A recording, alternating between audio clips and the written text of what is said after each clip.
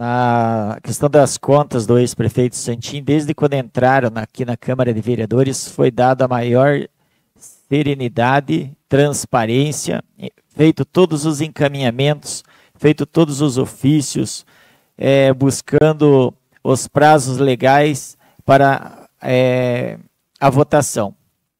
Lembrando que os membros de cada comissão, elas são votadas quando começa o, o mandato de cada vereador. Então, os vereadores todos assinaram para que os vereadores é, fizessem parte dessa comissão. Não foi colocado vereador nenhum em nenhuma comissão.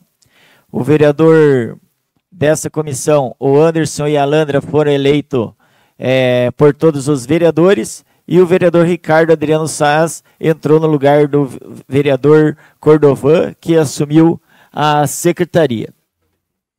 E eles foram eleitos pela população.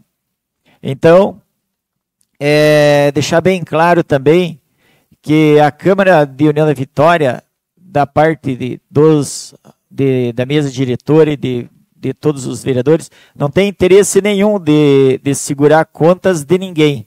Nós temos que dar andamento em todos os processos e projetos aqui na Câmara de Vereadores. Só que, quando não tem assinatura das comissões responsáveis, não tem como colocar em votação. Você vai colocar uma votação, ela vai se tornar irregular. Precisa, no mínimo, duas assinaturas.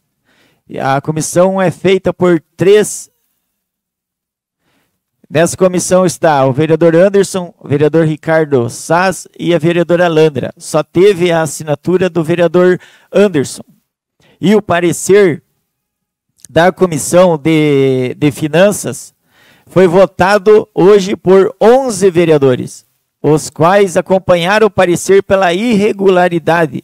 Poderia não ter posto o parecer da comissão e também é, votar junto com o projeto, o projeto de decreto. Mas nós fizemos hoje e demos a transparência e mostrando que a Câmara de Vereadores quer votar sim o projeto, mas precisa das assinaturas da Comissão de Finanças. A gente entende aí, às vezes, as pessoas mais exaltadas, mas gostaria que, que buscassem saber que os vereadores é, não estão é, segurando o projeto, a mesa diretora, mas tendo as assinaturas, com certeza vai ser votado esse aí. O parecer foi votado por 11 vereadores, dois vereadores ausentes. Não temos assinatura para colocar em votação.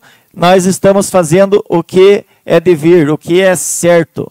Então, deixar bem claro para todas as pessoas. Aqui ninguém está brincando é, com algo tão sério e ninguém está brincando também de ser vereador.